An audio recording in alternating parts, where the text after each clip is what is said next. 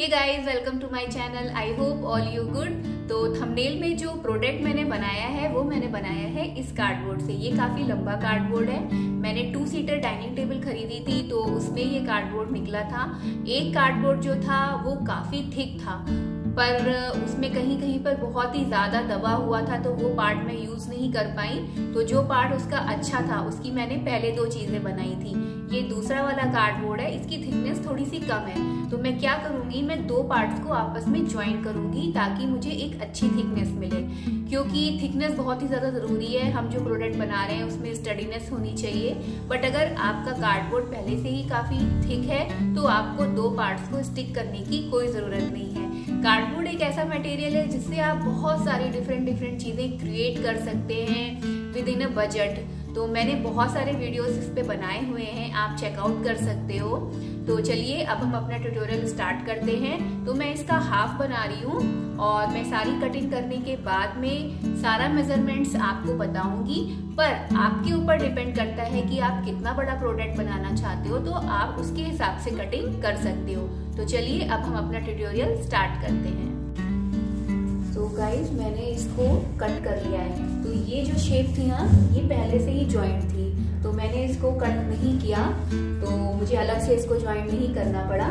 इस साइड भी सेम ऐसे ही है और नीचे भी ऐसे ही है। बस ये पार्ट्स अलग हैं। ये दोनों पार्ट्स अलग हैं। और इसकी जो मैंने लेंथ ली है, वो ली है मैंने 90 इंचेस है ये। और जो ये विड्थ है विड्थ है 22 तो ये टोटल आपके ऊपर डिपेंड करता है आप कितना बड़ा बनाना चाहते हो। तो इसकी जो थिकनेस है, वो है अराउंड हाफ़ सेंटीमीटर पर मैं इसको चाहती हूँ एटलीस्ट वन सेंटीमीटर मेरी थिकनेस हो तो मैं क्या करूँगी कि मैं इसको यहाँ पर से पहले ज्वाइन करूँगी ग्लूगन की हेल्प से और इसको भी ज्वाइन करूँगी ग्लूगन की हेल्प से। और थोड़ा आप वाइट टेप लगा दीजिए ताकि और स्टडी हो जाए। देन इसके बाद में आप ये देख सकते हो, मैंने बहुत सारे ऐसे पीसेस कट किए हुए हैं। तो इसके अंदर फिर मैं इसको ऐसे फिक्स करूँगी। सेम यही प्रोसीजर मैं बैक में भी करूँगी और साइड्स में भी करूँगी। फिर इसके बाद में रिक्वायर्ड थिकनेस होने के बाद मैंने इसके लिए ये अपर पार्ट कट किया है। तो अपर पार्ट मैंने इस साइड से और इस साइड से दो दो इंच एक्स्ट्रा लिया है। ताकि हमारी जो टेबल है, इसका अपर पार्ट थोड़ा सा देखने में अच्छा लगे। आप देख सकते हो ये इस तरीके से। फिर हम इसके अंदर अपने अकॉर्डिंग आप पार्टीशन कर सकते हो कि आपको कितने पार्टीशन चाहिए, आपको डोर लगाना है, उसमें क्या डिज़ाइनिंग करनी है। तो इसमें भी मैंने दो कट दिए हैं और इन दोनों को मैं फेविकोल की हेल्प से स्टिक करूँगी और फिर कुछ इसके ऊपर हैवी आइटम रख दूँगी। और हैवी आइटम रखने से क्या होगा कि ये अच्छे से स्टिक होगा।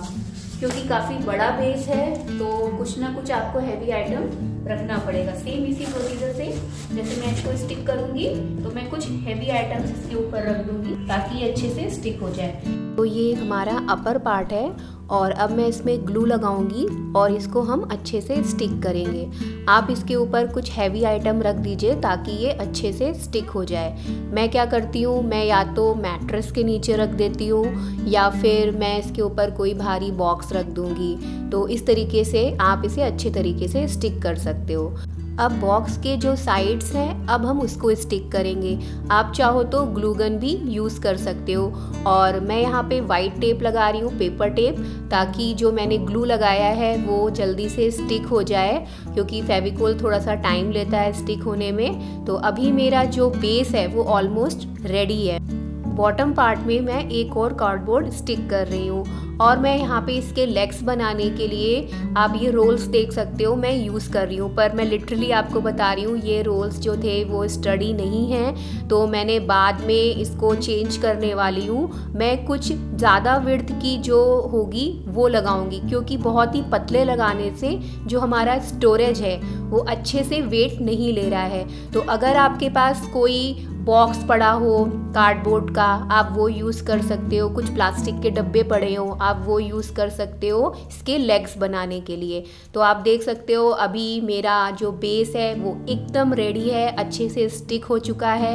अब मैं इसका फ्रंट डोर बना रही हूँ। ये ऑप्शनल है। आप चाहो तो ओपन स्टोरेज भी बना सकते हो। तो मैं यहाँ पर पहले पेंसिल से ड्रॉ कर रही हूँ और इसके बाद मैं यहाँ पे कटिंग करूँगी। तो कटिंग करते वक्त आपको एक चीज़ ध्यान रखनी है कि जो हमारा डोर वाले साइड्स होते हैं, वो हमें बैक साइड से कट करना है और उसको हम सिर्फ़ हाफ़ ही कट करेंगे। अभी आप देखोगे कि जो मेरे डोर्स हैं, वो कैसे ईजिली ओपन हो रहे हैं। आप देख सकते हो कि मैंने इसको बैक साइड से मैं कट कर रही हूँ और इसको हमें पूरा नीचे तक लेके नहीं जाना है, पूरा कट नहीं करना है। इसको हम बिल्कुल अपर पार्ट से कट कर रहे हैं ताकि हम ईजिली फ्रंट साइड से डोर को ओपन कर पाए। सो so गाइस सबसे ज़्यादा जो हार्ड वर्क है इस स्टोरेज को बनाने में, वो मेन इसका जो फ्रंट डोर है, उसको ही बनाने में मैंने सबसे ज़्यादा टाइम स्पेंड किया है। क्योंकि मैं थोड़ा सा रस्टिक लुक चाहती थी, इसलिए मैंने इस पर इतना वर्क किया। अब आप देखिए ये कैसे ईजिली ओपन हो रहा है। तो सेम इसी मेथड से हम दोनों साइड्स कर लेंगे। और अब हम क्या करेंगे, इसके ऊपर मैंने पतली पतली सी स्टिक्स कट की हैं कार्डबोर्ड की, और उसको मैं यहाँ पे स्टिक करने वाली हूँ। जैसा कि मैंने बोला कि मैं इसको थोड़ा सा रस्टिक लुक देने वाली हूँ फ्रंट पार्ट को।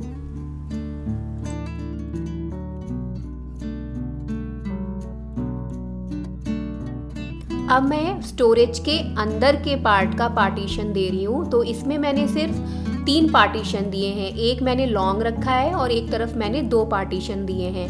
ये टोटली आपके ऊपर है, आप कैसे रखना चाहते हो? और इसके बाद मैं यहाँ पे मैं वाइट टेप लगा के जो एजेस हैं, उनको हाइड कर रही हूँ। ये भी ऑप्शनल है, आप चाहो तो करो, चाहो तो ना करो, क्योंकि वैसे भी मैं यहाँ पे डोर लगाने वाली हूँ। सो so, अभी मैं फेविकोल की हेल्प से डोर को यहाँ पे स्टिक कर रही हूँ और वाइट टेप की हेल्प से थोड़ा सा उसको प्रेशर देने के लिए मैं वाइट टेप लगाऊँगी ताकि मेरा जल्दी स्टिक हो जाए। आप चाहो तो ग्लूगन यूज़ कर सकते हो।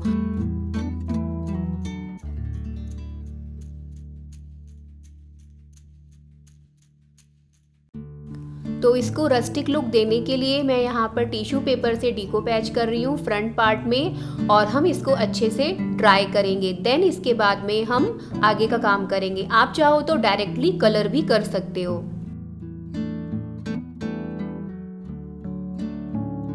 सो so, अभी ये ड्राई हो चुका है। अब मैं क्या करने वाली हूँ? इसका जो फ्रंट पार्ट है उसको छोड़ के बाकी जितना भी एरिया है मैं वहाँ पे वॉलपेपर स्टिक करूँगी।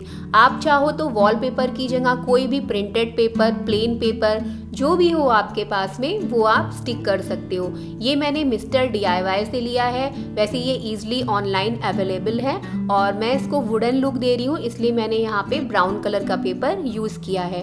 और आप अपने अकॉर्डिंग इसको कट कर सकते हो और स्टिक कर सकते हो।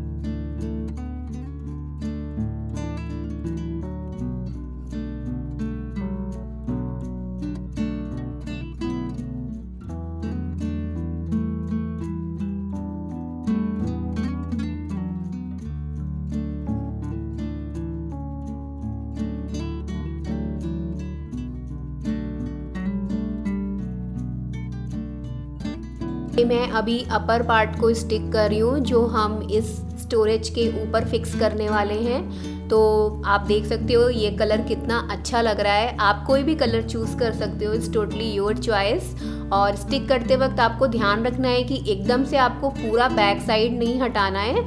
थोड़ा थोड़ा करके हटाइए, ताकि अच्छे से स्टिक हो।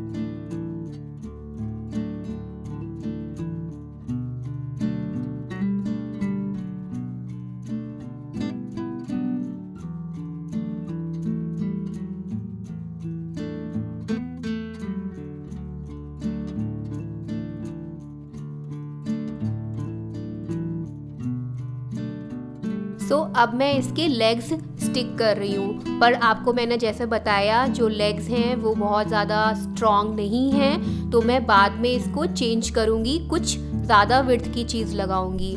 बट आपको मैं पहले से बता रही हूँ इसलिए आप कुछ अच्छी विर्थ की चीज़ यूज़ कीजिएगा। सो मेरा वॉलपेपर का काम ऑलमोस्ट फिनिश हो चुका है। अब मैं क्या करूँगी? डार्क ब्राउन कलर में डोर में करूँगी और मैं थोड़ा बहुत उसको, जो मेरा वॉलपेपर है, उसके कलर से मैच करने की कोशिश करूँगी।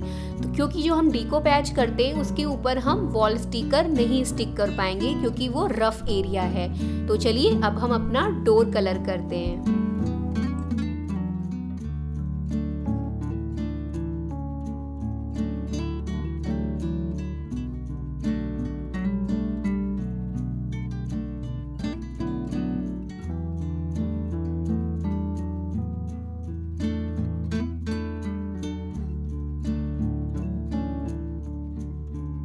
सो so, कलर करने के बाद हम इसे ड्राई करेंगे और हमारा unique cardboard storage is ready I hope आपको ये स्टोरेज अच्छा लगा होगा। आप कार्डबोर्ड का बहुत ही मल्टीपर्पज़ यूज़ कर सकते हो। मैंने अपने चैनल पे बहुत सारे वीडियोस शेयर किए हुए हैं। Please check out those video good bye take care happy day happy crafting don't forget to subscribe my channel bye bye take care